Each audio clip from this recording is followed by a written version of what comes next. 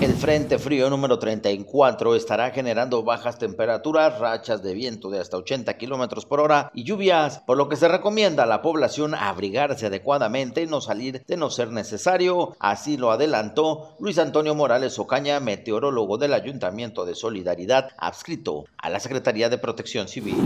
Es un sistema frontal muy fuerte que trae abundantes lluvias, está impulsado por una masa de aire polar ártica y esto eh, pues nos va a generar un evento norte que ya se encuentra eh, frente a las costas de Tamaulipas, parte media norte de Veracruz, eh, un evento norte que puede alcanzar rachas hasta de 80 a 100 kilómetros por hora en esas zonas, hacia la zona ísmica y Golfo de Tehuantepec.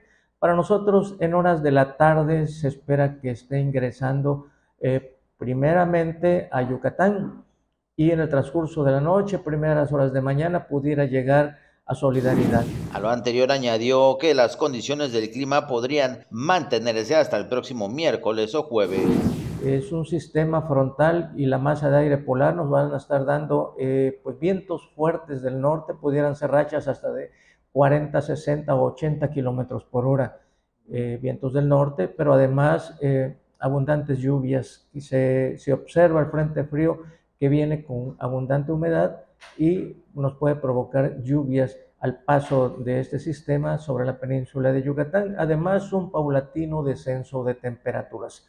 Eh, vamos a tener el día de mañana temperaturas frescas y frías y pues los vientos constantes del. Con imágenes y edición de Pepe Mata para Notivisión, Edgar Olivares.